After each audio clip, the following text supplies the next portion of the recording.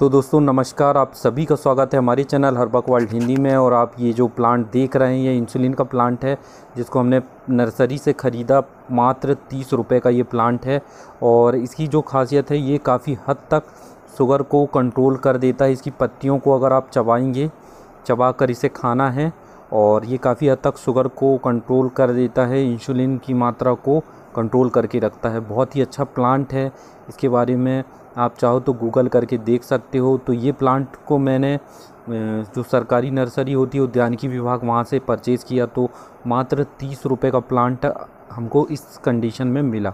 बहुत ही अच्छा प्लांट है और इसे अभी लगातार दो तीन दिनों से मेरी मम्मी ने यूज़ करना चालू किया तो काफ़ी हद तक इसके अच्छे रिज़ल्ट मिले हमें और आप लोग भी इस प्लांट को ले सकते हैं।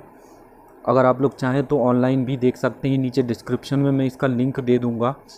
और अगर आप लोकल पता करेंगे अपनी नर्सरी वगैरह में तो ये बहुत ही आसानी से मिल जाएगा। बहुत ही अच्छा प्लांट है दोस्तों। इसे ज़रूर ख़रीदें। और हमारी वीडियो अगर आपको अच्छी लगे तो वीडियो को लाइक शेयर एंड चैनल को सब्सक्राइब ज़रूर करें। और ये देखिए आप लोग, इस तरीके का ये प्लांट होता है। इसको अच्छे से देख लीजिए, इसकी पत्तियाँ।